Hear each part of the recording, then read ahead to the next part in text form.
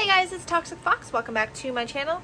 Uh, it is October 1st, uh, which means it is day one of my attempt for 31 days of Halloween uh, for 2020. We're going to see how far we can get this year.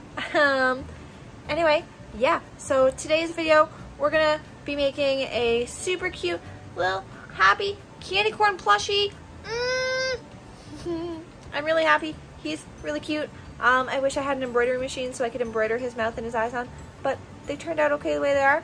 Uh, anyway, let's get straight to this. I hope you guys enjoy this video and like making this squishy little friend with me, and I will see you guys tomorrow. So for this we're using flannel. We have our measuring tape, scissors, we've got some pins, as well as this One Direction uh, pillow that I'm going to rip apart for the stuffing because let's recycle. And now we have the pattern that I made up with the three colored stripes as well as a circle for the top, the eye that we're going to stitch on. We're going to add a half inch seam allowance and I forgot to include the bottom piece, but you'll see that later.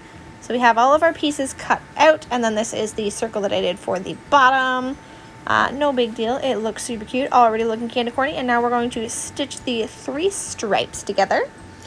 Now that that is done, we're going to stitch on the eyes as well as a little tiny mouth that I decided to cut out. Uh, and that will be done.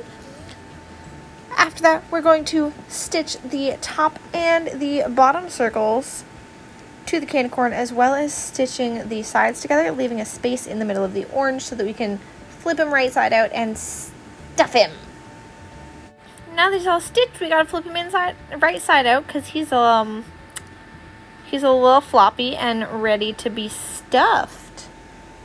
This is really hard to do one-handed, so we'll be back in a second. There we go. Now he is right side out. You can see how adorable he's going to look. So it is time to hack into this uh, lovely One Direction pillow so that we can recycle the stuffing. We're just going to pull stuffing out of the One Direction pillow and pop it right in through the hole that we have in the back of our candy corn friend. Now the candy corn is all stuffed, we're going to turn around and we are going to do a ladder stitch across the back to close his little opening and here we go!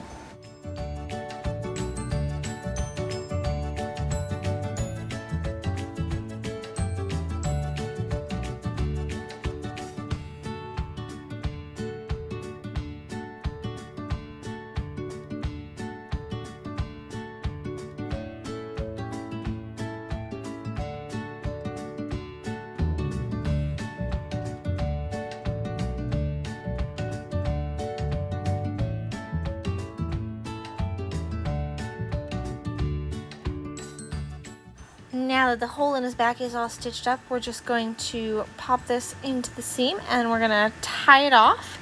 Once you're done tying off your knot, you're actually going to stab the needle through him and bring your needle out somewhere along the side so that we can trim the thread and the thread tail will get sucked into his body. And our happy little candy corn buddy is complete. I hope you guys enjoyed making this with me. Thank you for watching, and I will see you guys tomorrow. Bye!